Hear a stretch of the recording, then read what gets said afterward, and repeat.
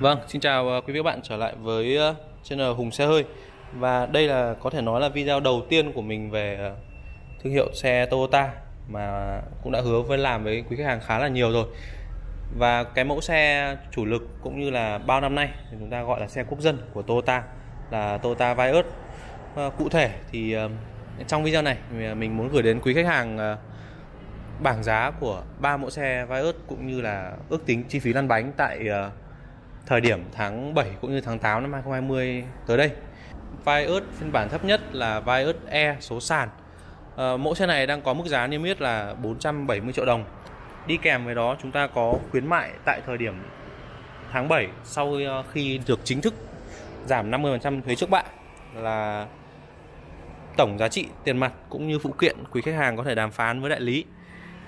Chúng ta có tổng giá trị khuyến mại lên đến 20 triệu đồng và với cái mức khuyến mại ờ, hiện nay tại một số đại lý thì cái mức giá lan bánh ở tỉnh chúng ta có thể tính nhẩm nhanh là 500 triệu đồng cho mẫu Vios E số sàn đã được nâng cấp khá là nhiều trong thời gian vừa qua.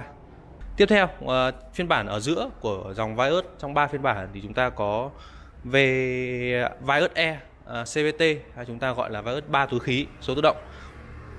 Phiên bản này đang được niêm yết mức giá là 520 triệu đồng đi kèm với đó khuyến mại chúng ta được ít hơn một chút. Khi à, tổng giá trị khuyến mại thì sẽ dao động vào khoảng 15 triệu đồng.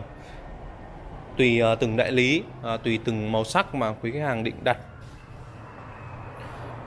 Và cái mức giá lăn bánh của phiên bản này thì sẽ nhỉnh hơn Vios E số sàn là 50 triệu. Cụ thể thì tại tỉnh thì chúng ta sẽ hết khoảng 500 rưỡi cho cái phiên bản ba túi khí này. Và ở Hà Nội chúng ta sẽ dao động vào khoảng 575 triệu đồng cuối cùng là, có thể nói là mẫu xe bán chạy nhất của Vios là Vios G. Vios G hiện nay đang được niêm yết với mức giá là 570 triệu đồng. Và khuyến mại thì ờ, quý khách hàng ờ, liên hệ theo hotline. Và về khuyến mại thì ờ, tại thời điểm này, Vios G đa phần với các hãng, với các đại lý thì chúng ta đã bị co khá là nhiều. Tuy nhiên thì tổng giá trị khuyến mại có thể lên đến 20 triệu đồng, tùy vào từng đại lý và tùy vào màu xe cũng như là phiên bản thời gian quý hàng định lấy. Và cái mức giá lăn bánh ở VSG số sàn là chiếc xe quốc dân này thì chúng ta có một mức giá lăn bánh khá dễ chịu với ờ, 605 triệu đồng có thể thương lượng kèm theo.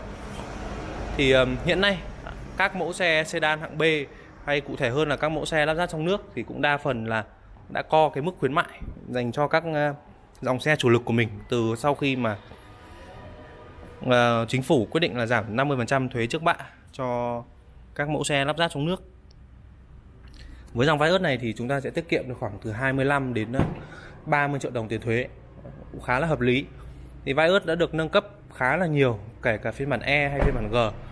Từ cuối năm 2018 với việc uh, tăng độ dày của thân vỏ này, uh, giảm giá bán này, tăng option này. Thế hiện nay thì các mẫu Vios kể cả thấp nhất thì chúng ta cũng có cái uh, ghế da cũng như đầu DVD Đấy, có những cái option mà gọi là nó là ngày xưa xe Toyota có làm mơ ấy thì cũng cũng không thể lấy được. Cũng không nghĩ là được trang bị ở trên um, Vios như này. À, cụ thể về giá bán thì khuyến mại hay uh, tư vấn hỗ trợ trả góp cũng như là review so sánh sản phẩm thì quý khách hàng vui lòng liên hệ trực tiếp với mình có like đang đính kèm trên video. À, mình sẽ ra nhiều video tiếp về những cái giá xe cũng như chương trình khuyến mại à, rất mong quý hàng like share và subscribe. Ờ, xin cảm ơn và hẹn gặp lại. À bạn ở đây không có điều hòa. Có điều hòa nên giáo được bật thôi.